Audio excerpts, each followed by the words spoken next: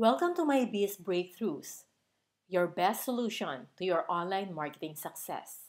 Let me show you how you can hide a page from your website navigation menu. If you do not want to show your page here, then this video is for you.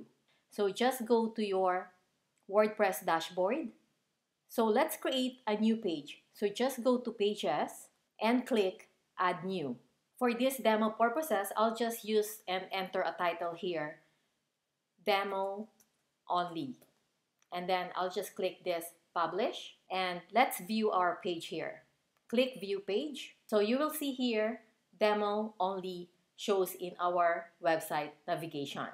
So this is the demo only page that we want to hide from our navigation.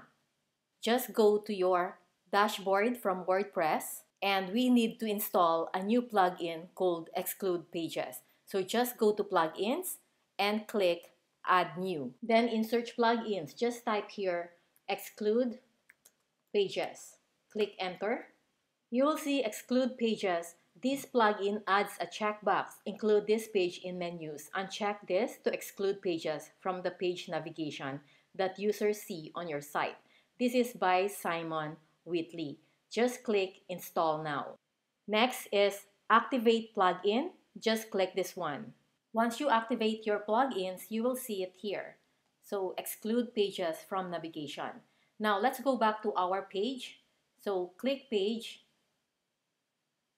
And here is our demo only page. So let's go back here and click Edit. You will see here on the right hand side of your computer, just scroll all the way down, you will see exclude pages. So here, there is this box, include this page in list of pages. So just uncheck this box and all you have to do is click update. Then let's go back and check our page again. So click view page. Now our demo page is gone here from our navigation menu. To start your breakthrough journey, to live life at your own terms, just click the link below this video.